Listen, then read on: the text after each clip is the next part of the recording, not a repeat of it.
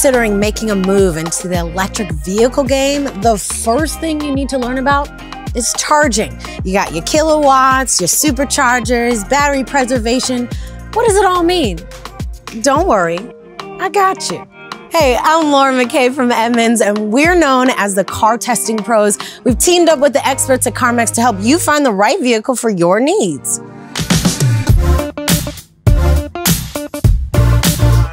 Newbie from the gas world, these new concepts may seem a bit daunting, but once you get the basics, you're good. Okay, so here's where we're going to start. Electric cars are also known as EVs. See? Simple. We'll just build from here. To understand charging an EV, it really all boils down to capacity. An electric vehicle's battery capacity is measured in kilowatt hours. It's the same unit used in your house for the electrical meter, which determines your bill each month, which is something I know we all just want to get rid of. So for EVs, you can think of kilowatt hours like gallons in your gas tank. Each EV has a different capacity that can run anywhere from up to 30 to roughly 210 kilowatt hours. That's a lot of juice, right? But in reality, you will never be able to fully use the rated battery capacity. Why? Well, there's a management system put in place called the state of charge, and its sole purpose is to preserve and prolong battery life. Basically, your battery will never get 100% full or empty. It also helps to know battery capacity isn't a direct comparison to range because EVs have different efficiency ratings. Think of it like miles per gallon in gas vehicles, but capacity can be used as a very rough yardstick. So a small amount of capacity usually means short range and vice versa. Much like your laptop or cell phone, batteries can degrade over time and battery performance and capacity may depend on things like accessory use, climate, and other factors. Capacity is also a big element in charge times along with charge levels, which I'm gonna get into right now. Okay, before we start, a charger isn't actually the thing you're going to buy and hang in the wall of your garage or the cord you use to plug it in. The charger is a system built into the car and it has a charge rate associated with it, meaning the amount of electricity it can accept per hour, and that varies from car to car. Now, charging comes in three distinct levels level one, level two, and direct current fast charging, but you can think about it as slow, medium, and fast. Level 1 EV charging equipment delivers standard household outlet current at 110 or 120 volts. It's not fast and in some cases can take a day or two or three or four or more to charge. Level 1 charging uses this specialized plug that comes with your EV. It interacts with the car during charging and it's simple to use. Just plug one side directly into an outlet and the other into the car, and voila, you're charging. All right, now it's important to note to never use an extension cord with your level one charger. It's just not smart and it's a major fire hazard. So let's not do that. Next up is the obvious named level two. Now, level two EV charging gives power at 220 to 240 volts. It's the same type of power used for major household appliances like an electric oven. So level two adds a lot more electricity to your car's battery. Think of level one like a garden hose and level two like a fire hose. Level 2 will charge most EV batteries in a matter of several hours. Now, it's not quite as simple as Level 1 because it requires specialized equipment that you'll want a professional electrician to install. So yes, moving up to this level does put a bit of a dent in your pockets, sometimes costing nearly $1,500 or more. Then there's the Big Daddy, direct current fast charging, also known as DC, unofficially known as level 3. If level 1 is a garden hose, level 2 is a fire hose, then this is like a waterfall of electricity and can charge most batteries from 0 to 80% in 30 minutes. Wait, 80%? Why not 100? Remember when I discussed the battery state of charge management system? Uh huh. Yeah, light bulb going off. It's recommended not to fully charge your car's battery, so 80% is a safety precaution. Also, the rate of charge is almost never a linear pattern, but more of a curve that slows as it nears 80%. Again, it's all about prolonging the life and efficiency of your battery, right?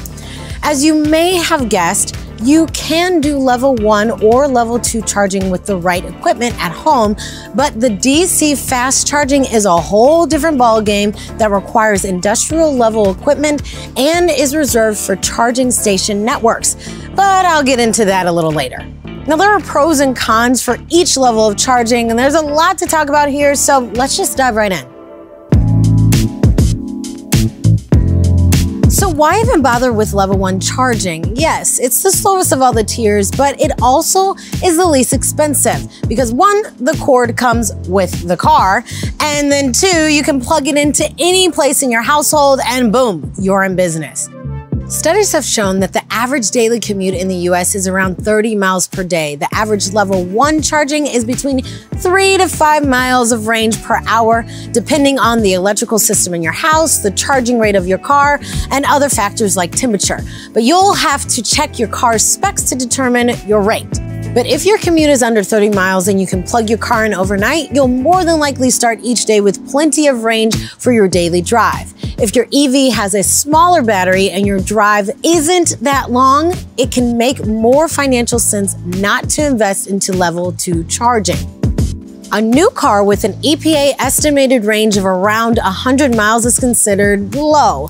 With nightly level 1 charging, you'll be able to maintain a near full charge with plenty of room for daily commutes and those errands that always seem to creep up on us.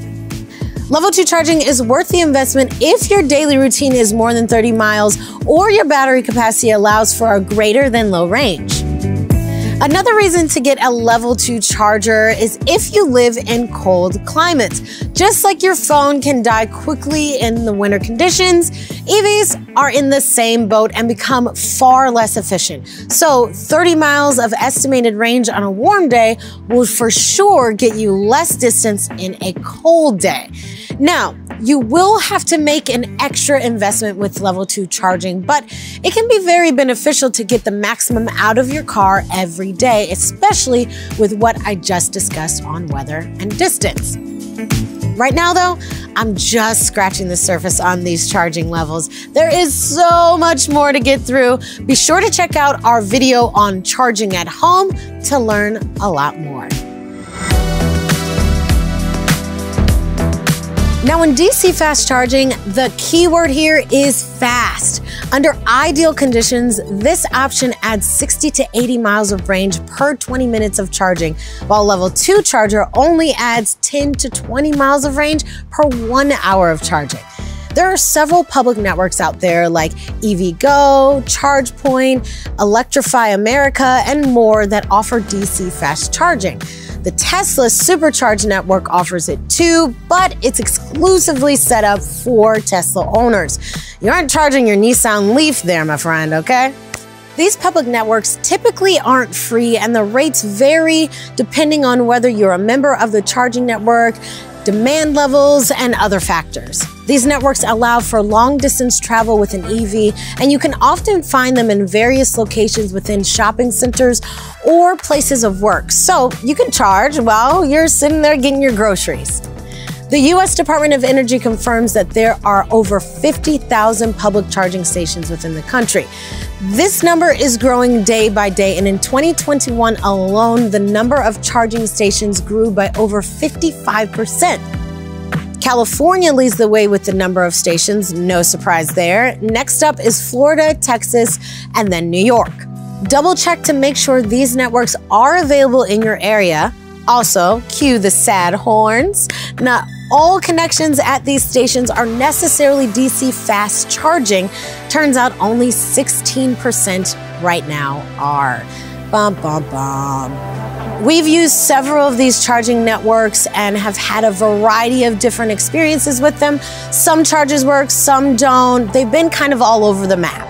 We've had the most consistent success with the Tesla supercharging network, but again, you need to own a Tesla to use it. Whew, that was a mouthful. How are you feeling? Feel like one of those emojis with the upside down smiley face? I can't do it, obviously. But clearly, there is a lot to learn when it comes to electric vehicles. We hope you learned a lot today. If you have any questions, hey, leave a comment below. Be sure to check out our in depth video on charging at home and be sure to like and subscribe. And I'll see you next time.